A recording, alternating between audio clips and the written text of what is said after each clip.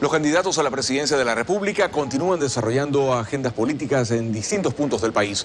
Con Lenin Artieda echemos un vistazo a las actividades de Lenín Moreno en Napo, a las propuestas de Dalo Bucaram y el recorrido de Montserrat Bustamante, candidata a la vicepresidencia con Paco Moncayo.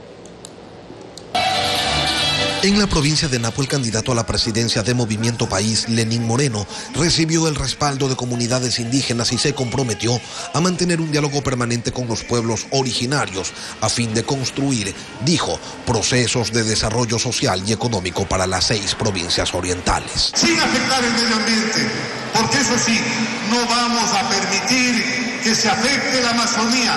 No lo vamos a permitir. Por su parte, el candidato de Fuerza Ecuador, Abdalá Bucaram Puley, sostuvo un encuentro con los aspirantes a la Asamblea Nacional de su organización política. Bucaram se refirió al manejo que le dará a la deuda externa en caso de llegar al poder.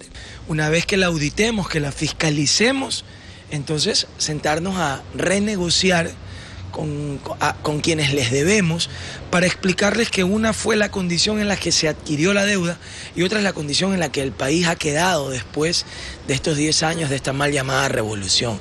La compañera de fórmula de Paco Moncayo, Montserrat Bustamante, realizó un recorrido por el suburbio de Guayaquil desde Acuerdo Nacional por el Cambio, que ayer presentó un proyecto de ley para evitar la consulta por el llamado pacto ético, contaba el mecanismo que proponen desde su organización para manejar la deuda externa. Nosotros queremos refinanciar la deuda, de tal manera que podamos pagar a, pagar a mayor plazo y con menor interés, porque nosotros tenemos que respetar las deudas que se han adquirido en el país. Los candidatos a la presidencia continúan desarrollando actividades en todo el país, unos haciendo referencia a temas generales y otros que prefieren ser específicos sobre los más graves aspectos que afectan al país.